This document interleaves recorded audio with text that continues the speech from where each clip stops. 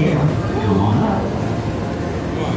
Okay. Turn the dial to guess your total combined weight in five, four, three, two, no, it's like 800. one. Time is up. Oh, man.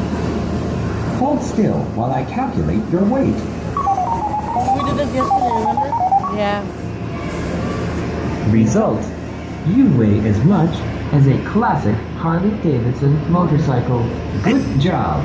Enjoy the rest of your day. Not bad. That's not that bad. Let's see Kathy. and you want to take a picture in the... Hold still while I calculate your weight.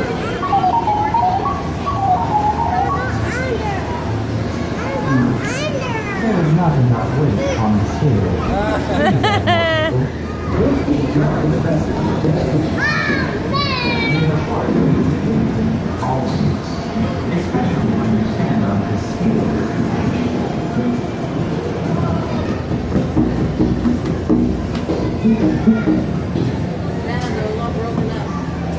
Tyler. Use the stick, papi.